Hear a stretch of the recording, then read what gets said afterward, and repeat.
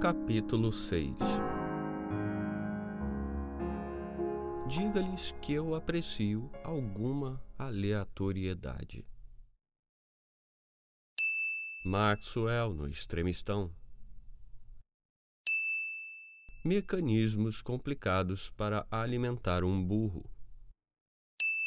Virgílio pediu para fazer e fazer agora.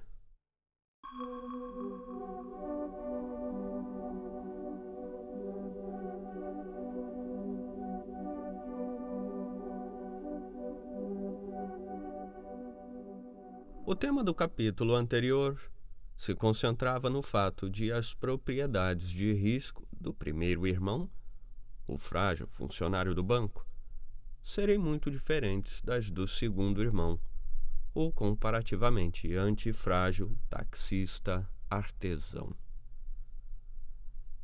Da mesma forma, o risco característico de um sistema centralizado é diferente daquele de uma confusa confederação liderada por pequenos estados. O segundo tipo é estável a longo prazo por causa de alguma dose de volatilidade. Um argumento científico mostrando como os controles rígidos podem sair pela culatra e causar surtos explosivos foi defendido por James Clerk Maxwell, da famosa teoria eletromagnética governantes, entre aspas, são mecanismos destinados a controlar a velocidade dos motores a vapor por meio da compensação às variações abruptas. Seu objetivo é estabilizar os motores. E aparentemente eles o fazem, mas, paradoxalmente, eventualmente à custa de um comportamento caprichoso e de falhas. Controle da luz funciona. Controle de perto leva a uma reação exagerada, fazendo às vezes com que a máquina se rompa em pedaços. Em um artigo famoso, On Governors, publicado em 1867, Maxwell delineou o comportamento e mostrou matematicamente que o controle rigoroso da velocidade dos motores conduz à instabilidade. É impressionante constatar como as derivações matemáticas de Maxwell e os perigos de um controle rigoroso podem ser aplicados em todos os domínios e ajudar a desmascarar a pseudoestabilização e a fragilidade há tanto tempo oculta. Nota: o financista George Cooper reacendeu a discussão em A Origem das Crises Financeiras. Seu argumento é tão claro que um velho amigo, o operador Peter Nielsen, distribuiu o livro para todas as pessoas que ele conhece. Fim da nota. nos mercados a fixação de preços, ou, de forma equivalente, a eliminação dos especuladores, os chamados noise traders. E a volatilidade moderna que eles trazem gera uma ilusão de estabilidade, com períodos de calmaria pontuados por grandes saltos. Como os jogadores não estão acostumados com a volatilidade a mais leve variação de preços pode ser atribuída à informação privilegiada ou a alterações no estado do sistema e causará pânico. Quando uma moeda nunca varia, um ligeiro movimento faz com que as pessoas acreditem que o mundo está acabando. Uma dose de confusão estabiliza o sistema. Na verdade, confundir um pouco as pessoas é benéfico. É bom para você e bom para elas. Como exemplo do cotidiano. Imagine alguém extremamente pontual e previsível, que chega em casa exatamente às seis da tarde todos os dias há 15 anos. É possível usar sua hora de chegada para acertar o relógio.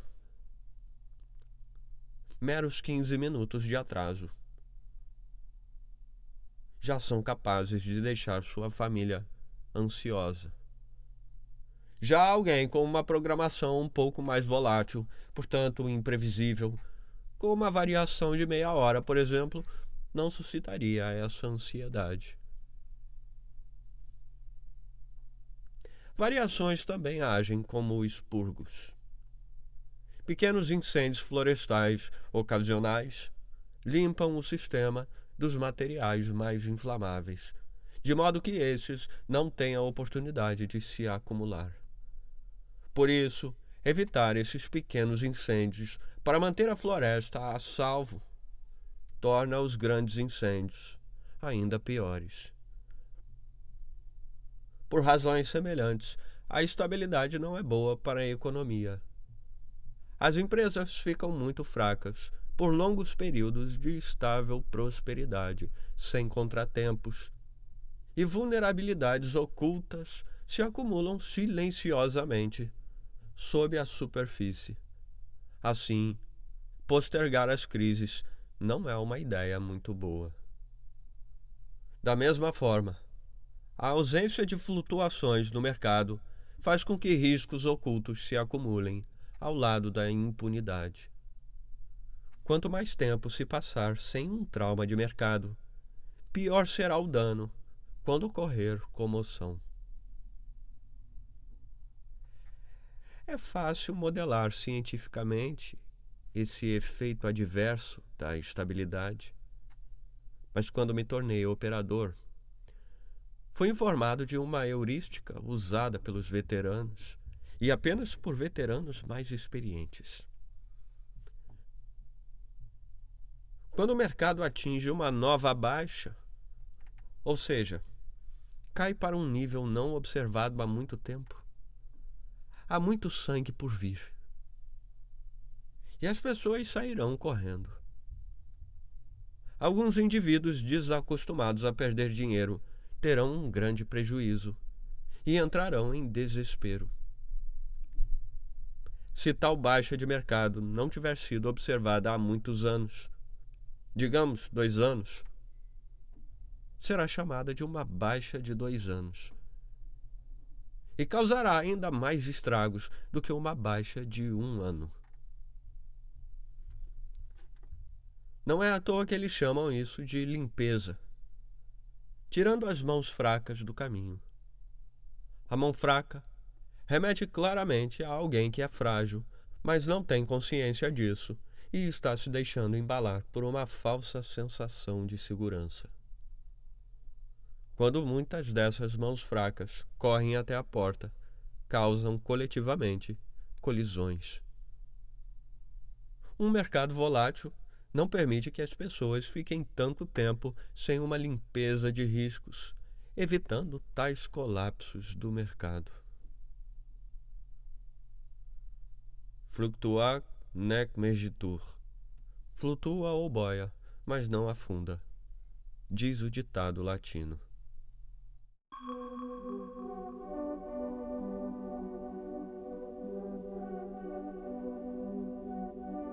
Burros esfomeados. Até agora, argumentamos que prevenir a aleatoriedade em um sistema antifrágil nem sempre é uma boa ideia. Vejamos agora um caso em que adicionar aleatoriedade tem sido um método operacional padrão como o combustível necessário para um sistema antifrágil permanentemente faminto por isso.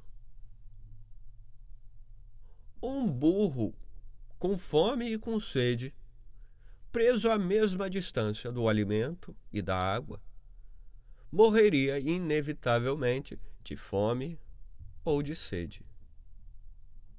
Mas ele pode ser salvo graças a um empurrãozinho aleatório para um lado ou para o outro.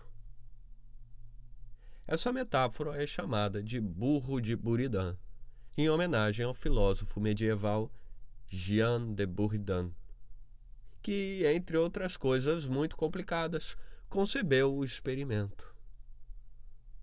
Quando alguns sistemas estão paralisados diante de um impasse perigoso, a aleatoriedade, e apenas ela, poderá desbloqueá-los e libertá-los. É possível perceber aqui que a ausência de aleatoriedade equivale à garantia de morte. A ideia de introduzir um ruído aleatório em um sistema para melhorar o seu funcionamento tem sido usada em diferentes campos por um mecanismo chamado ressonância estocástica. O acréscimo de ruído aleatório ao fundo faz com que os sons sejam ouvidos, digamos a música, com mais precisão. Vimos anteriormente que o efeito psicológico da sobrecompensação nos ajuda a obter sinais em meio ao barulho. Aqui não se trata de uma propriedade psicológica, mas física do sistema. Sinais fracos de socorro, fracos demais para serem captados pelos receptores remotos, podem se tornar audíveis na presença de um ruído de fundo e de interferência aleatória ao ser acrescentado ao sinal. O silvo aleatório permite que ele ultrapasse suficientemente o limiar de detecção para se tornar audível. Nessa situação, nada funciona melhor do que a aleatoriedade, que é gratuita. Considere o método de recozimento na metalurgia. Técnica usada para tornar o metal mais forte e mais homogêneo. Trata-se do aquecimento e do resfriamento controlados de um material. A fim de aumentar o tamanho dos cristais e reduzir seus defeitos. Tal como acontece com o burro de Burridan. O calor faz com que os átomos se desloquem de suas posições iniciais e passeiem aleatoriamente pelos estados de maior energia. O resfriamento lhes dá mais chances de encontrar novas e melhores configurações. Quando criança, fui exposto a uma versão desse efeito de recozimento, assistindo a meu pai, que era um homem de hábitos, verificar um barômetro de madeira todos os dias ao chegar em casa. Ele dava uns leves tapinhas no vidro do barômetro para então fazer uma previsão caseira do tempo. A pressão sobre o barômetro fazia com que a agulha se desprendesse e encontrasse sua verdadeira posição de equilíbrio.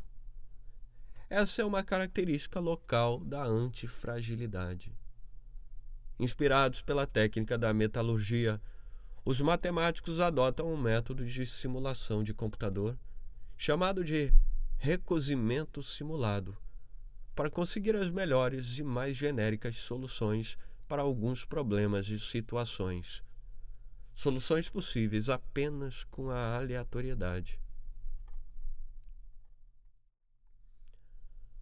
A aleatoriedade funciona bem em pesquisas. Às vezes, melhor do que os humanos.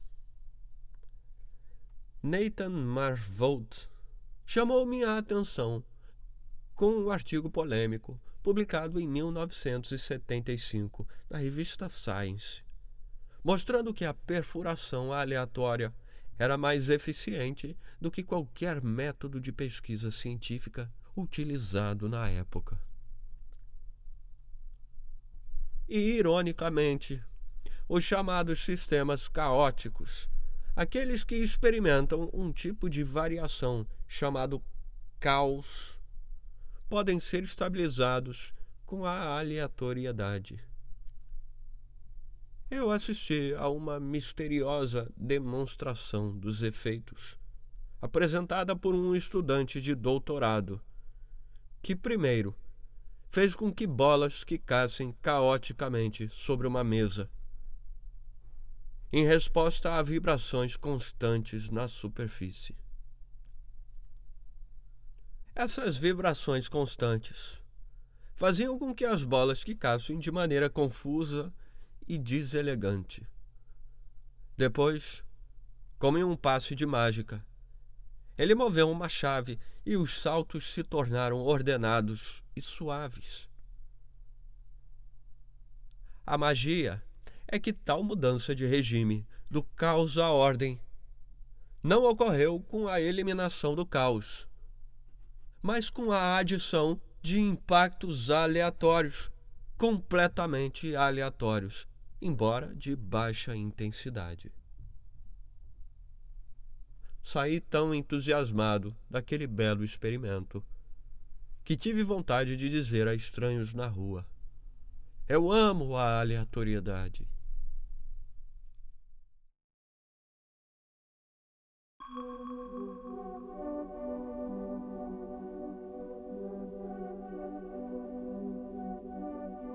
Recozimento político.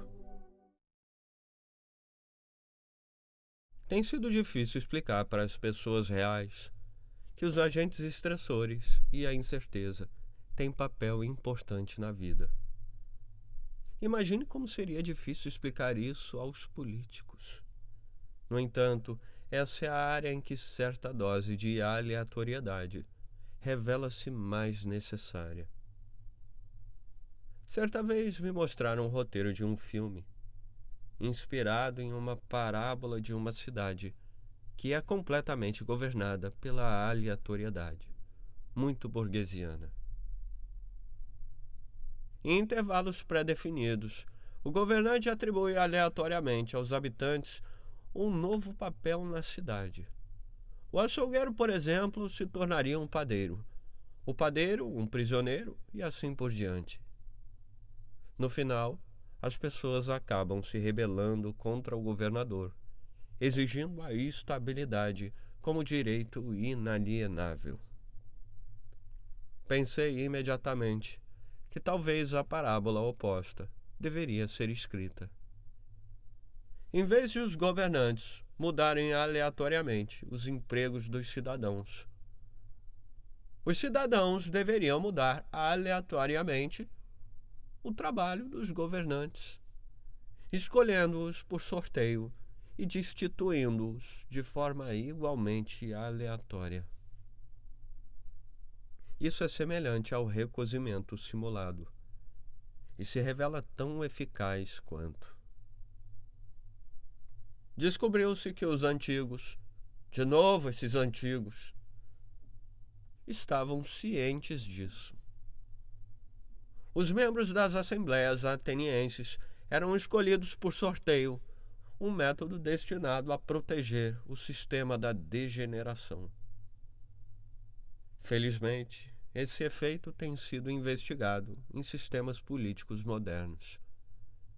Em uma simulação de computador, Alessandro Plutino e colaboradores mostraram como o acréscimo de certo número de políticos aleatoriamente selecionados ao processo pode melhorar o funcionamento do sistema parlamentar.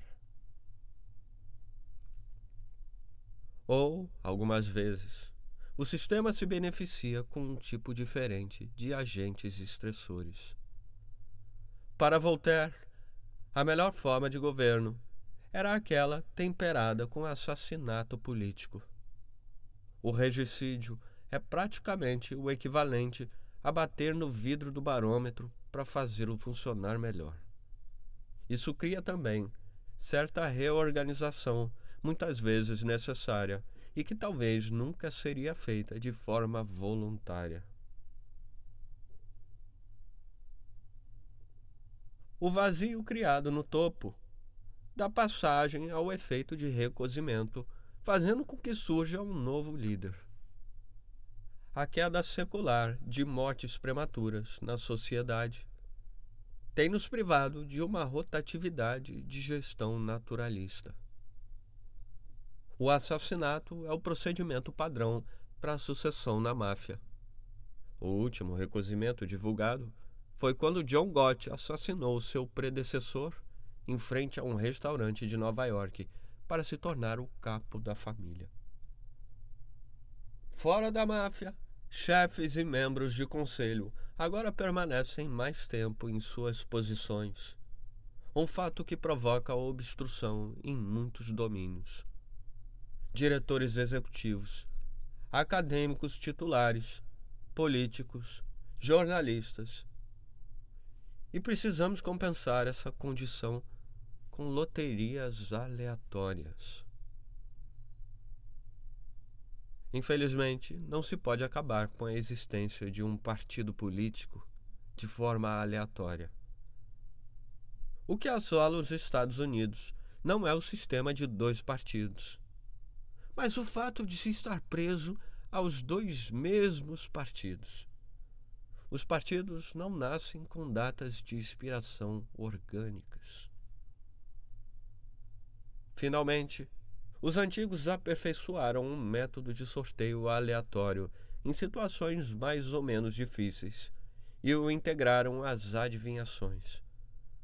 Os sorteios, de fato, foram concebidos para encontrar uma saída aleatória sem se ter de tomar uma decisão, de modo que mais tarde não se tivesse de viver com o fardo das consequências. As pessoas faziam o que os deuses lhe diziam para fazer de modo que elas não tivessem dúvidas mais tarde.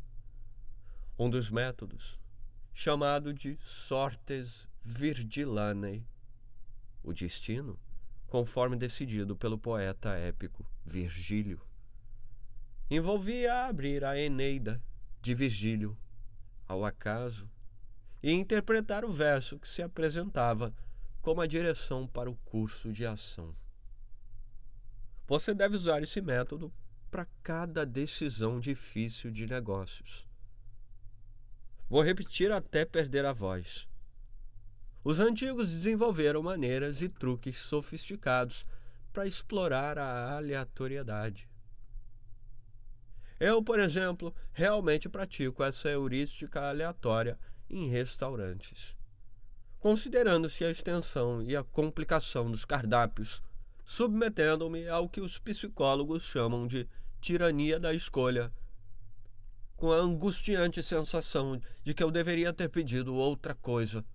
Eu, cega e sistematicamente, reproduzo a escolha do homem mais gordo à mesa.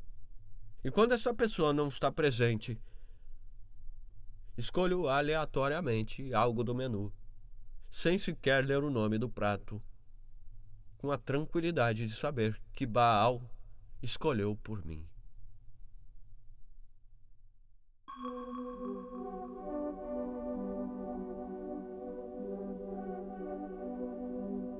Esta bomba relógio, chamada estabilidade. Vemos que a ausência de fogo gera acúmulo de material altamente inflamável. As pessoas ficam chocadas e indignadas quando eu afirmo que a ausência de instabilidade política e até mesmo de uma guerra torna possível o acúmulo de material explosivo sob a superfície. A segunda etapa. As pequenas guerras.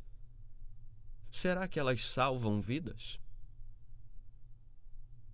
O filósofo político anti-iluminista Joseph de Maistre observou que conflitos fortalecem países. Isso é altamente discutível. A guerra não é algo bom, e como vítima de uma brutal guerra civil, eu posso atestar os seus horrores. Mas o que acho interessante e sofisticado em seu raciocínio é o fato de apontar o erro de se analisarem as perdas de determinado evento e ignorar o restante da história. Também é interessante notar que as pessoas tendem a compreender mais facilmente o oposto, isto é, elas detectam o erro de se analisar o ganho imediato sem considerar os efeitos colaterais a longo prazo. Dessa maneira, vemos as vítimas como perdas, sem ponderar a segunda etapa, o que acontece depois. Ao contrário dos jardineiros, que entendem muito bem que a poda fortalece as árvores. Do mesmo modo, a paz, algum tipo de paz forçada, limitada, não natural, pode custar vidas. Basta considerar a grande complacência que levou à Grande Guerra, depois de quase um século de relativa paz na Europa juntamente com a ascensão do fortemente armado Estado-nação. Mais uma vez, todos nós amamos a paz e todos nós amamos as estabilidades econômica e emocional, mas não queremos ser idiotas a longo prazo. Tentamos nos vacinar a cada novo ano, injetando-nos um pouco de mal para formar a imunidade mas somos incapazes de transferir o mecanismo para os domínios político e econômico.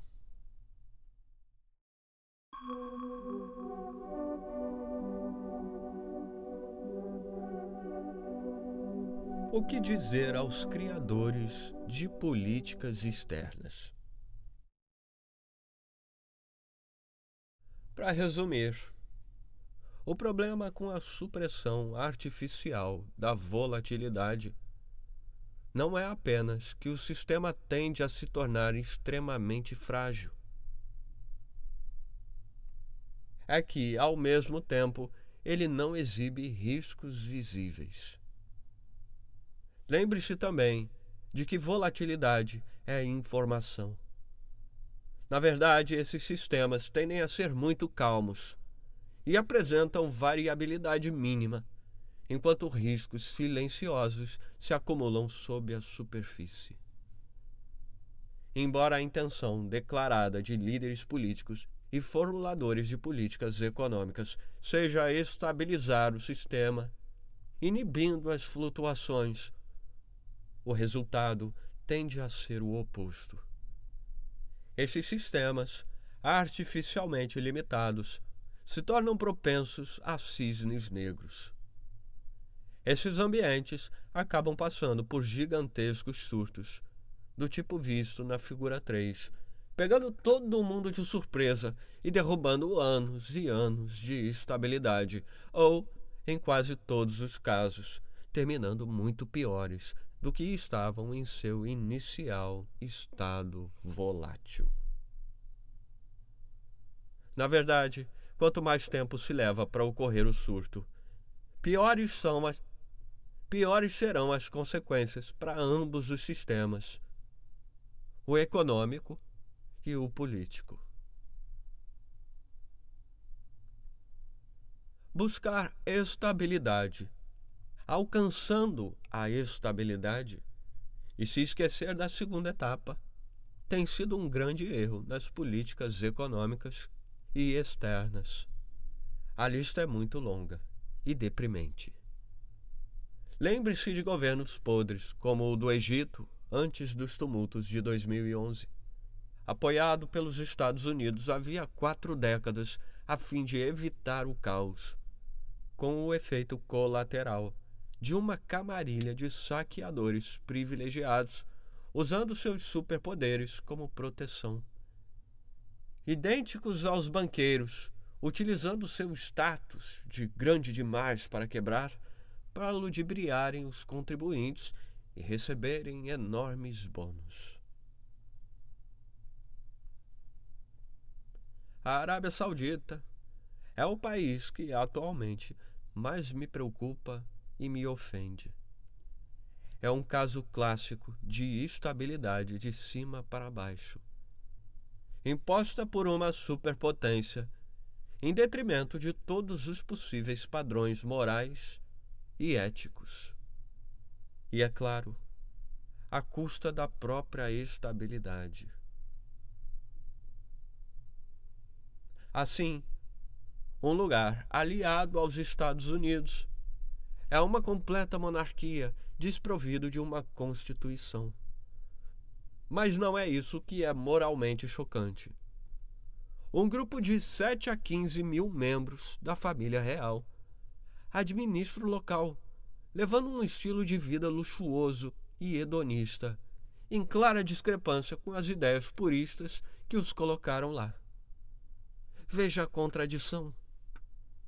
As tribos do implacável deserto, cuja legitimidade deriva de uma austeridade quase amish, podem, graças a uma superpotência, voltar-se para o desinibido prazer hedonista. O rei viaja por mero prazer, com uma comitiva que preenche quatro jatinhos. Quanta diferença de seus antepassados! Os membros da família acumularam uma fortuna que agora está em grande parte preservada em cofres do Ocidente. Sem os Estados Unidos, o país teria tido sua revolução, uma separação regional, algum tumulto. E então, talvez, hoje, tivesse alguma estabilidade. Mas evitar o ruído agrava o problema a longo prazo. É evidente que a aliança entre a família real saudita e os Estados Unidos foi estabelecida para proporcionar estabilidade. Que estabilidade? Por quanto tempo se pode confundir o sistema? Na verdade, quanto tempo é irrelevante. Essa estabilidade é semelhante a um empréstimo, que no fim precisa ser pago. E há as questões éticas que deixo para o capítulo 24. Principalmente casuísticas, quando se utiliza da justificativa de em favor de para violar uma regra moral até então inflexível.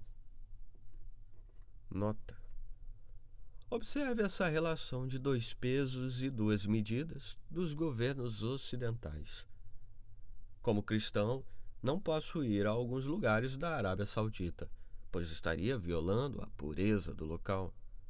Mas nenhum lugar público dos Estados Unidos ou da Europa Ocidental é proibido aos cidadãos sauditas. Fim da nota.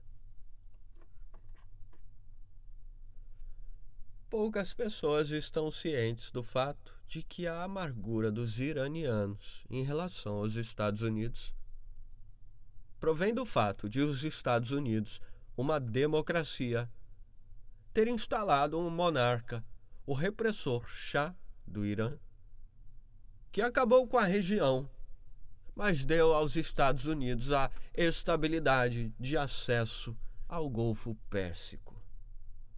O regime teocrático do Irã de hoje é, em grande parte, resultado dessa repressão precisamos aprender a pensar nas segundas etapas, nas cadeias de consequências e nos efeitos colaterais.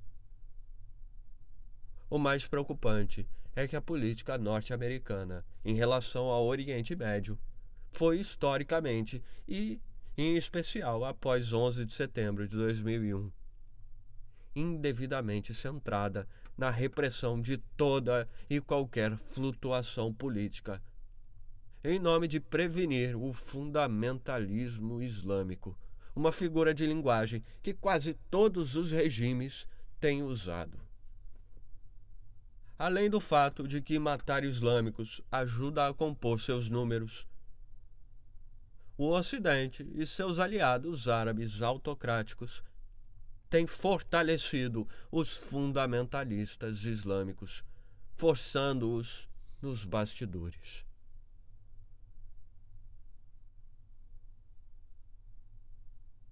Já é a hora de os criadores de políticas públicas norte-americanos entenderem que, quanto mais intervierem em outros países em nome da estabilidade, mais instabilidade provocarão, exceto para os casos de pronto-socorro.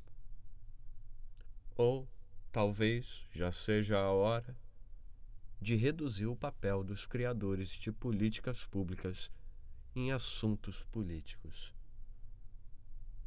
Uma das máximas da vida: não há estabilidade sem volatilidade.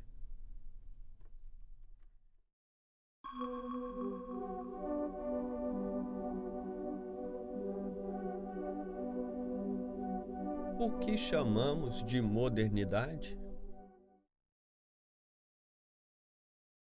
Minha definição de modernidade é a dominação em larga escala do meio ambiente, a suavização sistemática das arestas do mundo e a supressão da volatilidade e dos agentes estressores. Modernidade corresponde à extração sistemática dos seres humanos de sua ecologia, essencialmente aleatória, física e social, até mesmo epistemológica. A modernidade não é apenas o período histórico pós-medieval, pós-agrário e pós-feudal, tal como definido nos livros didáticos de sociologia é um pouco o espírito de uma época marcada pela racionalização, o racionalismo ingênuo, a ideia de que a sociedade é compreensível e, portanto, deve ser planejada por seres humanos. Com ele nasceu a teoria estatística e, assim, a bestial curva de sino. O mesmo aconteceu com a ciência linear e, do mesmo modo, com a noção de eficiência ou otimização. A modernidade é, bem ou mal, um leito de procusto. Uma redução de seres humanos ao que parece ser eficiente e útil. Alguns de seus aspectos ah, funcionam nem todos os leitos de Procusto são reduções negativas. Alguns podem ser benéficos, embora raramente o sejam. Considere a vida do leão. No conforto, na previsibilidade do zoológico do Bronx, com os visitantes da tarde de domingo amontoados em sua grade com olhares ao mesmo tempo de curiosidade, temor e piedade. Considere a vida deste leão em comparação com a de seus primos em liberdade. Nós, em algum momento, tivemos algumas gerações de adultos e de crianças independentes antes da era de ouro da mamãe coruja. Estamos entrando em uma fase da modernidade, marcada pelos lobistas, pelas sociedades anônimas muito, muito limitadas, pelo MBA, pelos problemas idiotas, pela secularização, ou melhor, pela reinvenção de novos valores sagrados como bandeiras para substituir os altares, pelo tributador, pelo medo do patrão pelos fins de semana em lugares interessantes e pela jornada de trabalho menos interessante. Pela separação de trabalho e lazer, embora os dois pudessem ser idênticos para alguém de uma época mais sábia. Pela aposentadoria, pelos intelectuais argumentativos que discordam dessa definição de modernidade pelo pensamento literal, pela inferência indutiva, pela filosofia da ciência, pela invenção das ciências sociais, pela suavização das superfícies e pelos arquitetos egocêntricos. A violência transferida dos indivíduos para os estados Assim é a indisciplina financeira.